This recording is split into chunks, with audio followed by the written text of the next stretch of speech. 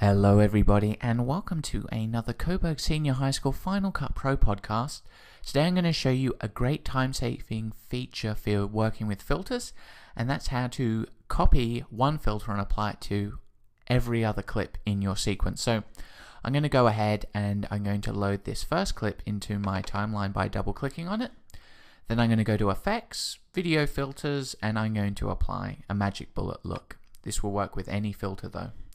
So now I'm going to go into my filters tab and click edit and I'm going to choose the Telecine net warm filter and click OK. So I've applied this to my first clip. Now it would take forever if I went through and went to the next clip, double clicked, went effects, last, edit.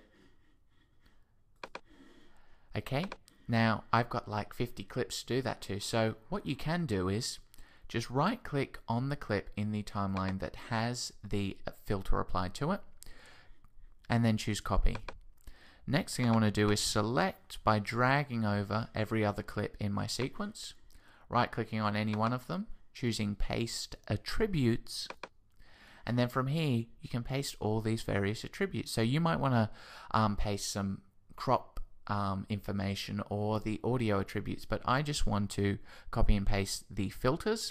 But note this will paste, um, this will copy every filter you've applied to previous clips. So it's not so good for things like color correction because you'll need to actually do that individually for each clip. But let's just say it was a black and white filter or a grain filter. This is a great way of having the same setting across all clips.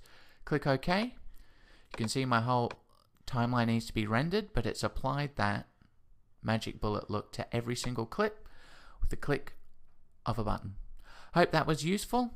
Search Coburg Senior on iTunes Store for all our other podcast series. You can find us on youtube.com forward slash Coburg Senior High. Until next time, happy editing.